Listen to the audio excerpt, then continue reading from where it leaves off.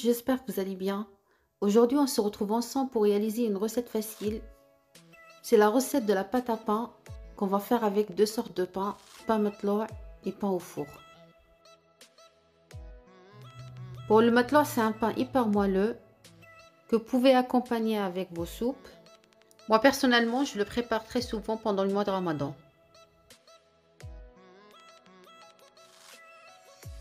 Aujourd'hui, je vais réaliser la pâte au robot Fagor Connect. Par contre, vous pouvez la réaliser à l'aide d'un pétrin ou juste à la main.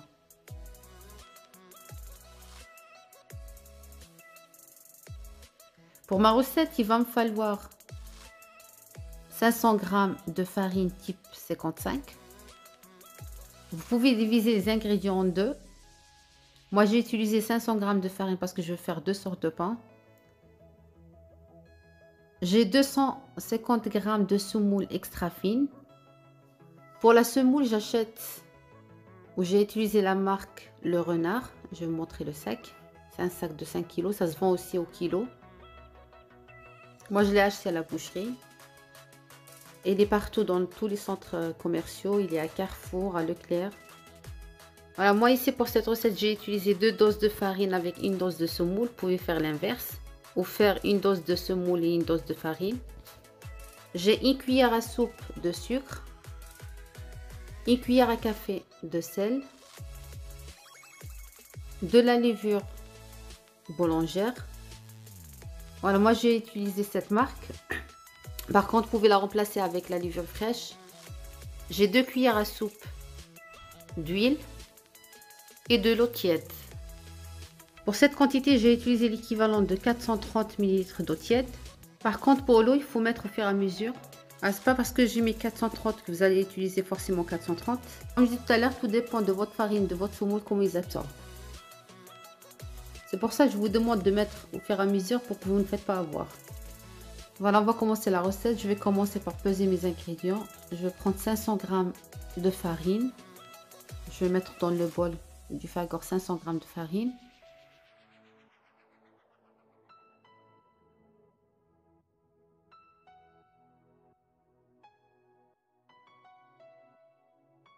J'ajoute 250 g de semoule extra fine. Comme je disais tout à l'heure, vous pouvez faire l'inverse. Vous pouvez faire deux doses de semoule et une dose de farine.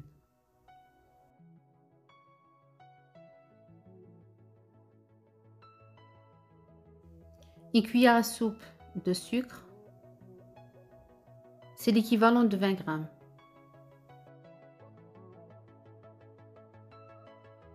J'ajoute une cuillère à café de sel.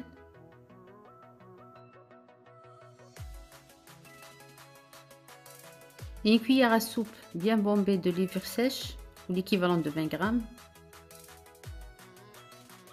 Vous pouvez remplacer avec la levure fraîche, l'équivalent de 20 g de levure fraîche.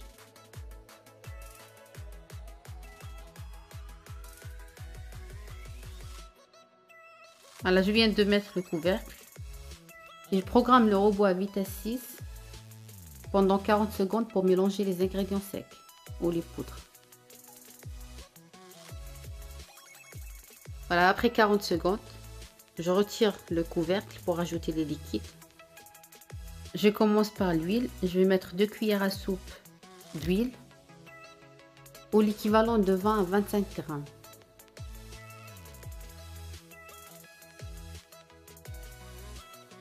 Puis j'ajoute l'eau tiède que j'ai chauffée au micro-ondes plusieurs fois. Au début, je vais ajouter juste 300 ml d'eau tiède et le reste, je le laisse pour après. Pour pétrir la pâte, on va appuyer sur le bouton auto, puis sur le mode pétrissage. Voilà, après c'est le robot qui va programmer les étapes. On voit sur l'écran pour le pétrissage, il y a 7 étapes.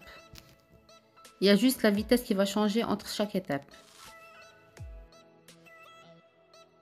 Voilà, quand il s'agit de la semoule dans une pâte, il vaut mieux répéter 2 à 3 fois cette étape. C'est pour ça que j'ai mis juste 300 ml pour le premier pétrissage et la quantité qui me reste d'eau, je l'ajoute après pour le deuxième pétrissage.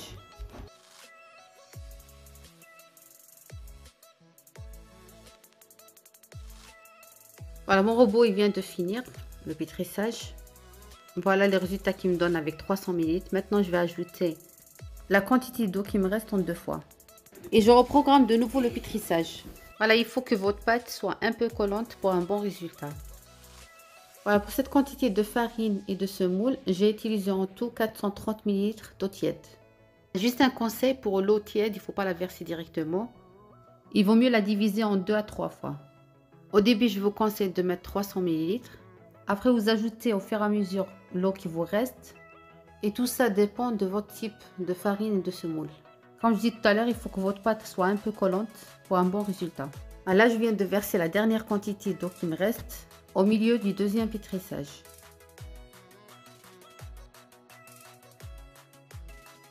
Voilà la cinquième étape du pétrissage. Quand votre robot il indique le chiffre 5, vous ajoutez une cuillère à soupe d'huile. Voilà, ma pâte, elle est prête. on voit bien qu'elle est bien collante, elle est un peu collante. Ah, c'est ça le que je cherche.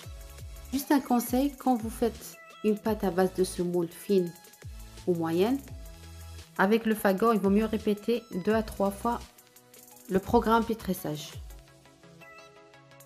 Voilà, maintenant on va transvaser la pâte dans un bol ou dans un saladier.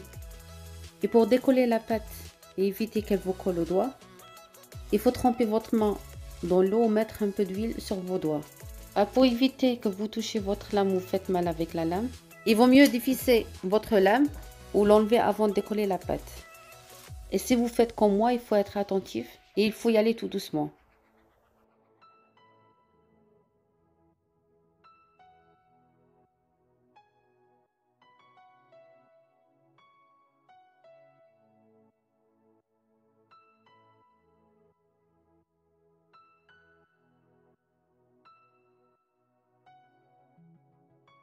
À cette étape, essayez de former une boule avec votre pâte, la couvrir avec un torchon propre ou avec un film alimentaire et de la laisser pousser dans un endroit chaud.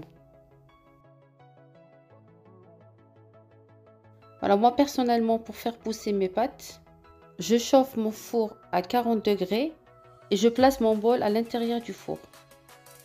Et ça me donne un bon résultat, ma pâte elle triple toujours du volume et je gagne plus de temps. Voilà, comme cette pâte, elle m'a pris moins 30 minutes pour pousser.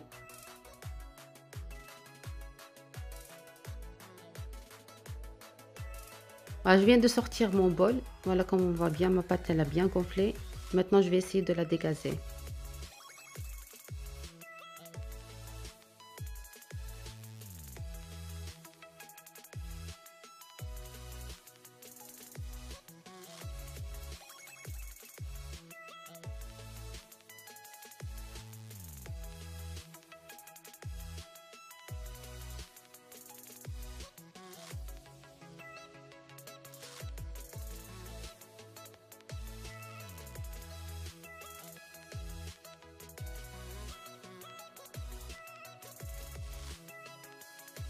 Là, je viens de mettre un peu de semoule sur un petit plateau. Vous pouvez la mettre sur une assiette plate.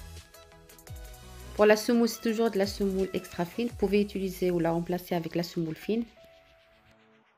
Puis je vais essayer de former des boules et les faire passer dans la semoule extra fine sur les deux faces et sur les côtés. Et avec cette pâte, je vais faire deux modèles de pain avec deux modes de cuisson différents. Je vais commencer par la galette matelas ou le pain matelas. Je vais essayer de faire juste une pour vous montrer comment on va la faire cuire. Voilà, une fois que vous enrobez votre boule avec de la semoule, vous la faites passer dans la semoule. Vous la déposez sur du papier de cuisson et la laissez pousser avant de la faire cuire.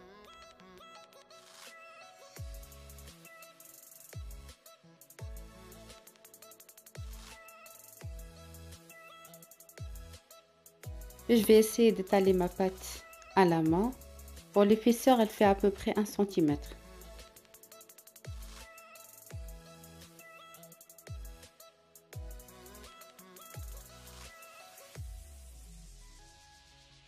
Maintenant, je vais la couvrir avec un torchon propre. Puis je place ma plaque au four qui est toujours chauffé à 40 degrés. Et je laisse pousser ma pâte.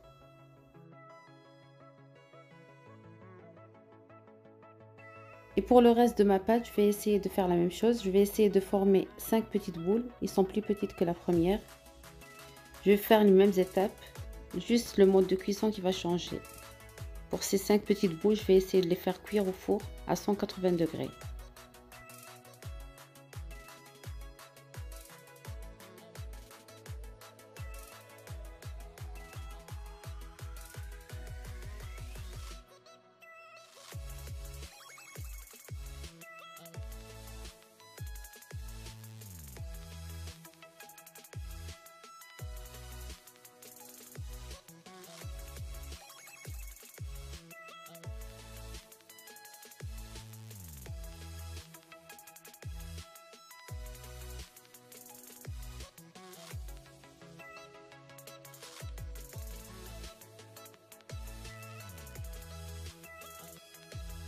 Alors maintenant, je vais essayer d'étaler juste un petit peu ma pâte. Par contre, pour ce modèle, il ne faut pas l'étaler trop. Il vaut mieux laisser une épaisseur au moins de 2 cm.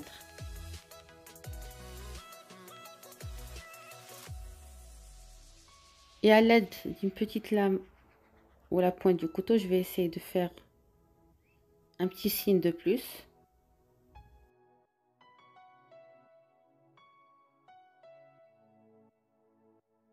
Et je vais couvrir mes pains avec un torchon propre. Puis je vais l'associer au four à 40 degrés pour les faire pousser. Voilà, je viens de placer le tagine sur le feu. Il faut bien le faire chauffer avant de poser la galette. Par contre, vous pouvez remplacer le tagine avec une poêle un peu épaisse, à paroi épaisse. Voilà, je viens de sortir ma galette du four. Voilà comment on va bien, elle a bien poussé. Elle m'a pris 15 minutes pour pousser. Comme je dis tout à l'heure, au four, elle pousse vite. Elle met moins de temps. Par contre, si vous la laissez à l'extérieur, elle va prendre plus. Voilà, maintenant, je vais glisser mon papier de cuisson directement sur la plaque pour éviter de trop manipuler la galette et pour vous faire faciliter la tâche.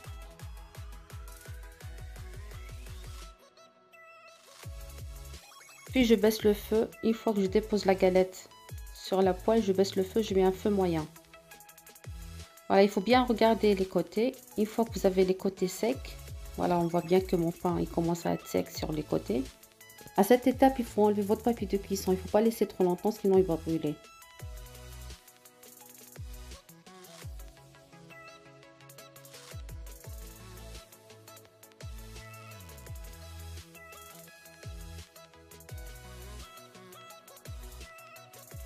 Que vous avez des petites bulles qui commencent à se former et les côtés et vos côtés sont secs, essayez de tourner la galette.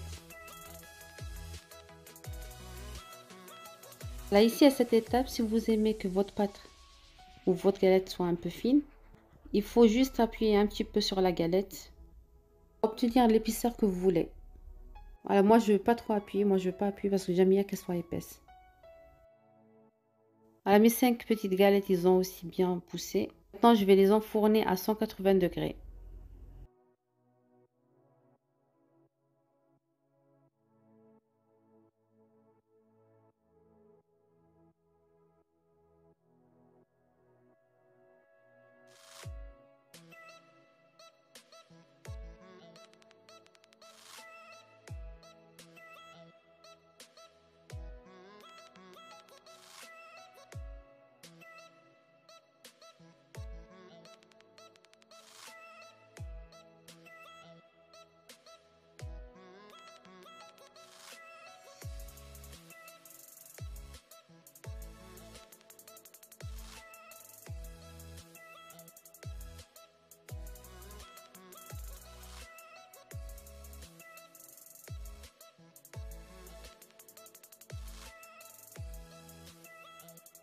Voilà, ma galette, elle est prête, elle est bien cuite.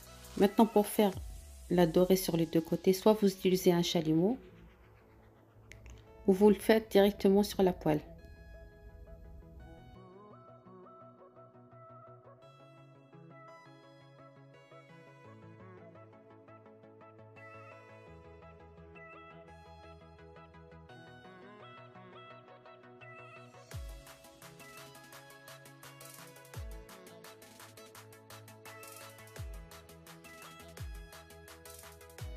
Par contre, si vous utilisez un chalumeau pour faire dorer la galette sur les côtés, il faut éteindre votre feu pour arrêter la cuisson de votre galette.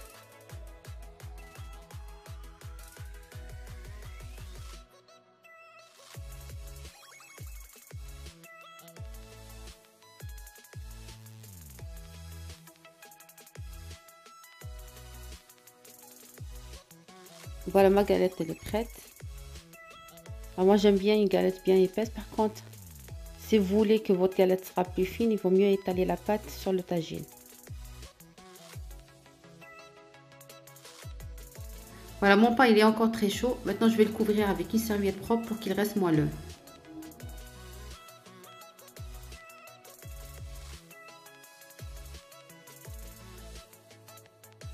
Ah, le petit pain aussi, ils sont ils sont prêts, ils sont bien cuits. Je viens de les sortir du four. Maintenant, je vais les couvrir avec une serviette propre. Si vous voulez d'autres recettes avec le fagor, n'hésitez pas à me laisser un commentaire avec la recette que vous voulez.